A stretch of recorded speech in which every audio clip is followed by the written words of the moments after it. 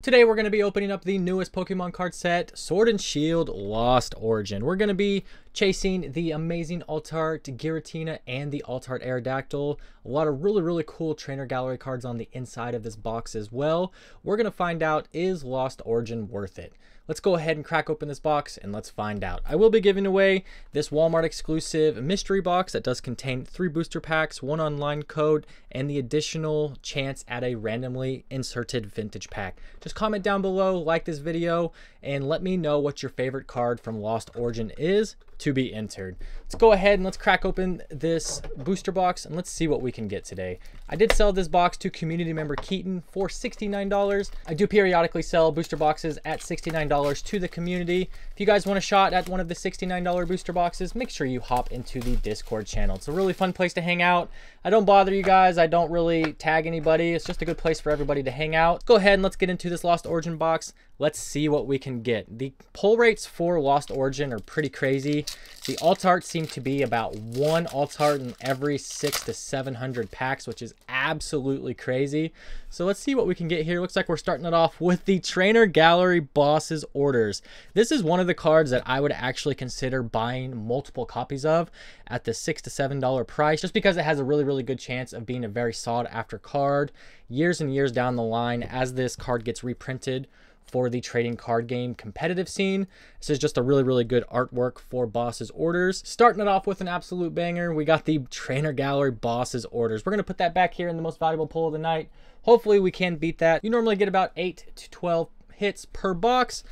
The newer Sword and Shield sets, the last four Sword and Shield sets that have included a trainer gallery. Sometimes you do get a little bit more than you would out of a regular box. I do break up the Sword and Shield era into three different categories. The first category has the first four sets, which is just the regular sets in my opinion. Then you have the alt art sets starting with battle styles, ending with fusion strike, and then you have the trainer gallery sets that started with brilliant stars and ended with lost origin. Let's see what else we can get out of this box. Got the Basculin, Rhyperior, V-Star marker there, Fantina, a lot of really good looking cards. Lost Origin did bring back the Lost Zone mechanic, which is a really, really fun way to play the game code card there for you guys. I do give away all the code cards in every single one of my videos, so make sure you guys subscribe to the channel with that notification bell on. That way you guys can pick yourself up a code card. The color blast on these Lost Zone cards is really, really cool in my opinion. This Cramorant card is actually really powerful. It has a free attack if you have three or more cards in the Lost Zone. It's seeing a lot of play in the competitive scene right now. Most of the Lost Zone decks that people are building do include a Cramorant for that free attack. See what else we can get here. Looks like we have another trainer gallery card. We have the Spiritomb.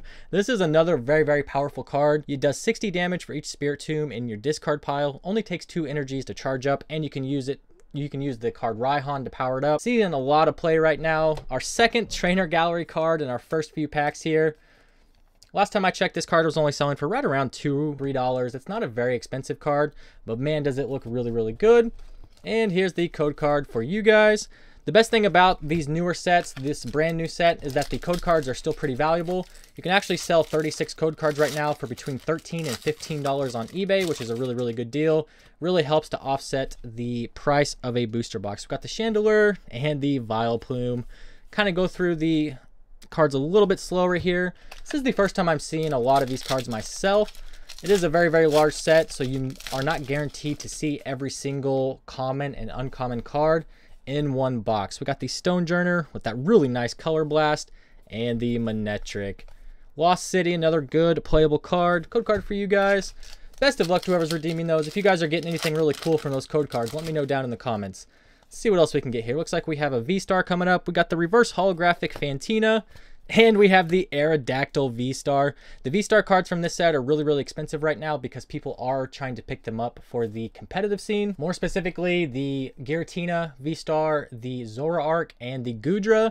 The Aerodactyl V-Star is sitting under bulk price. It's less than a dollar for this V-Star card, unfortunately. Still a really, really good looking card in my opinion and a lot of really good cards there. Good playable cards. With this new set, you do have to keep an eye on your bulk because a lot of these common and uncommon cards will sell for quite a bit. That could easily help pay for your booster box if you do sell them in play sets on TCG Play or on eBay. A lot of these cards like the Lost Vacuum are finding their way into every single deck. So make sure you guys keep an eye out for those really, really valuable bulk cards. And we have another, wow, I was not expecting to get another V-Star right after that Aerodactyl. This is actually the hardest V-Star to pull. Uh, somebody opened up like 8,000 packs and they said that to pull this was like one out of every 2,000 packs sitting at about $30 right now for this Giratina V-Star. Very, very playable card. And this pays for basically half the box right here with this one card. What an amazing hit right here for Keaton. One of the most powerful cards to come out of this set. That's why the price is so high. Lost Vacuum, another good playable card. Pull that out of your bulk if you are opening up Lost Origin right now. Let's see what else we can get here. So far, we're doing pretty good. I think we have a really, really good chance at beating that $69 price for Keaton. Let me know what you guys think. Do you guys think we're going to beat that $69 price with this box? Seems like we're well on our way. We got a Haunter and Malamar and the code card for you guys. Let's see what else we can get. Pulling that Rainbow Rare Giratina V-Star. That's just so exciting. Those are so, so difficult to pull. We got the Volvo and the Landorus. Code card there for you guys. Best of luck to whoever's redeeming those. Let's see what else we can get. Normally, you don't get more than two V-Star cards per box. So hopefully we still have an alt art sitting in here somewhere. That would be the best case scenario. Code card for you guys. Let's see what else we can get. So far, we've technically only got two ultra rare cards because the other hits have been out of the trainer gallery. That's what makes these sets so much fun. There's the Hisuian Goodra. This is one of the better V cards you can pull from this set. It's actually still sitting right around $3. A lot of people are playing this deck. It's basically a tank. It does a lot of damage reduction and it can heal itself with its ability once you make it into a Goodra V-Star. So make sure you guys keep an eye out for those as well. Another really good card. Really good swim freely card right here. You can attach a ton of water energy to your swim freely Pokemon like Dewgong. Got the Kingdra there. This is such a good looking set. I'm having a lot of fun opening up this box so far. What have your guys' pull rates been like for Lost Origin? Has anybody gotten that crazy looking Giratina alt art? Let me know. All right, let's see what else we got. We got the Poliwrath. Nothing too crazy out of this pack. Code card there for you guys. Let's see what else we can get here. Hopefully we can get alt art from this box for Keaton just for the value of it. There's been a lot of craziness happening with all of Colress Experiment. Another good bulk card. Make sure you guys pull those out.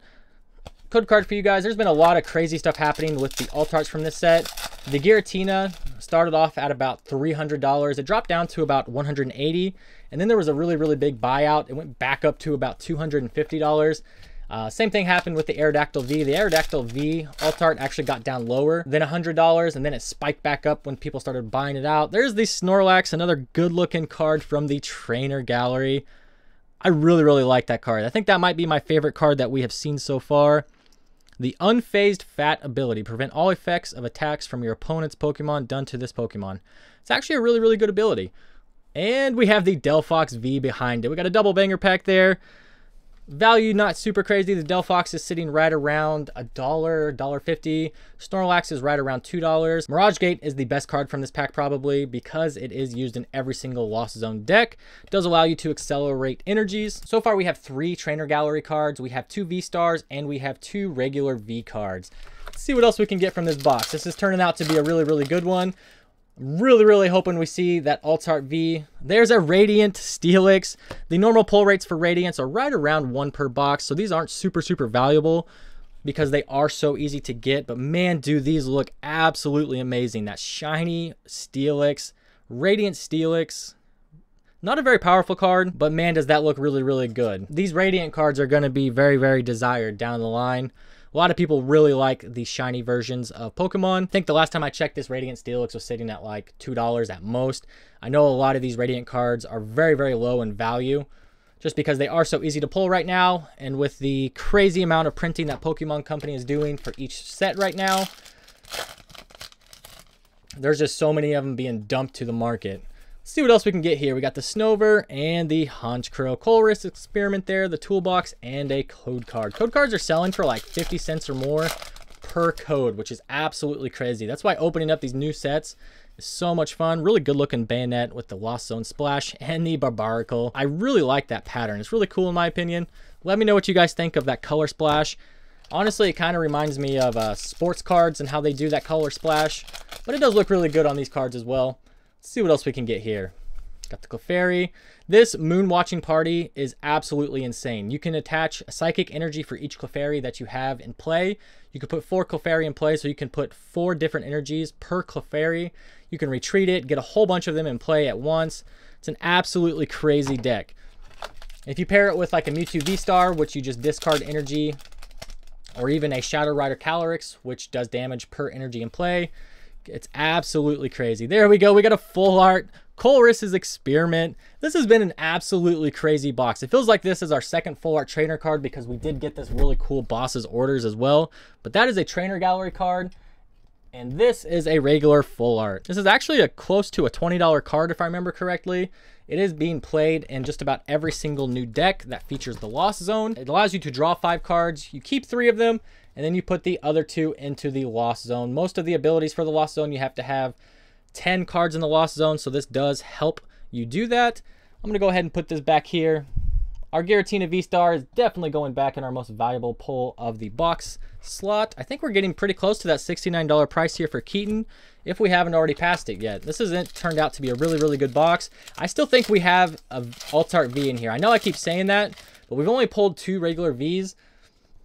Normally you get around four per box, sometimes a little bit more. So there's a really, really good shot. Another Colress's Experiment and the code card for you guys. Make sure you guys are pulling out those good trainers like Mirage Gate, Colress's Experiment, Lost Vacuum. All of those do hold considerable value just because they are so powerful. Same with this Cramorant card here. Another really, really good card. Code card for you guys.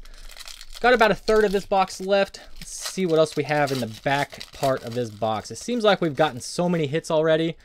I can't imagine what we still have on the inside of here. Looks like we have a gold card to go with it. That's our second secret rare card. We got the Collapse Stadium gold card. This is turning into an absolutely crazy box for $69. Congratulations to Keaton on this amazing box so far. Cannot believe all these amazing, amazing hits we're getting. This isn't like a crazy valuable card or anything, even though it is extremely rare. It's about a 7 or $8 card, but it's just absolutely crazy. It's our second secret rare card. We got one rainbow and one gold card from the same box. That hardly ever happens. Absolutely crazy. This has been a, such a good box. I kind of wish I would have opened this box for myself. Let's see what else we can get though. If we have another crazy hit in here, I wouldn't be surprised. This has been an absolutely amazing box so far. Let's see what else we can get. All right, we got another Radiant card. Normally you only get one Radiant per box. I don't think I've ever had a box where I've pulled two Radiant cards from the same box. That's absolutely crazy. Got another Radiant card here. We got the Radiant Steelix and the Radiant Sneasler. So we got two Radiant cards from this box. We got two Secret Rares from this box. Absolutely crazy so far. Here's that crazy powerful Dewgong I was talking about with the Swim Freely attack. You can attach all the energy you want to this and the flow return can hit up to like 280, 320 damage to hit those magic numbers to knock out V-Stars and V-Maxes fairly easily with that ability. All right, let's see what else we have left in here. We still have quite a few packs left. We've pulled some absolutely crazy hits out of this box so far. Mirage Gate, another good bulk card there. This has been a fantastic box. One of the best boxes I've ever seen so far. Lumineon, Gliscor, and the code card for you guys. The best part of that pack was the code card. Let's see what else we got. Really, really pulling for an alt art here. The Galarian Perrserker would be really, really cool. I mean, even the Rotom alt art is really, really cool in my opinion. I mean, they're all just such good cards. Cresselia, nothing too crazy there. And the code card for you guys. All right, we got, looks like we got about six or seven packs left here. We've only got two regular V cards, so I'm hoping that we have some more V cards here. There we go, another Trainer Gallery card. We have the Trainer Gallery Charizard, sitting right around 7 to $8 for that one. This has been an amazing, amazing, amazing box. This is by far one of the best boxes I've ever seen open. And let's grab that code card for you guys. Best of luck to whoever's redeeming those. This is crazy, guys. Absolutely crazy. Is that our fifth or sixth Trainer Gallery card? Got the Apabomb, and the Magcargo. Of course, we had to have it slow down a little bit. All right, we got about five packs left. I still think we have a couple V cards left inside of this box. Let's find out. We got the Comfey, good powerful card there. Make sure you guys pull those out of your bulk. Code card for you guys. Those Comfies go into just about every single Lost Zone deck. Does allow you to draw two cards, place one into your hand, and place the other one into the Lost Zone. Looks like we may have another hit here. Saw something shiny. There we go. We got the Magnezone V. The Magnezone V-Star deck is not very powerful. Those cards are actually sitting at like 50 cents or so. Actually under bulk price. A lot of bulk buyers will buy your V cards for $1 a piece. So some of those cards are actually sitting lower than that on TCG Player, for instance. See what else we can get. And there's another V card. I, I figured we had a couple of V cards left inside this box. I did not want to see those type of V cards, though. We got two packs left. Let's see what we can get. Holding out hope here. This has been an absolutely crazy box, even without an alt art from it. Let's see what else we can get. Clefairy and the Orbeetle. Code card for you guys. All right, we got our last pack magic. I'm pulling for you, Keaton. Let's get that Altart Giratina right now from this box. See what we got. We got the Sudowoodo and the Clefable. Nothing too crazy there. Code card for you guys. Let me know what you guys think down in the comments of this set. Do you guys think that Lost Origin is worth it? I do believe this box was definitely worth that $69 price tag we paid. The market price right now is sitting at about 95 to $100. I don't think we quite got there from this box, even with all the bulk, the codes, and the crazy amount of hits that we had. Is it worth it? Let me know.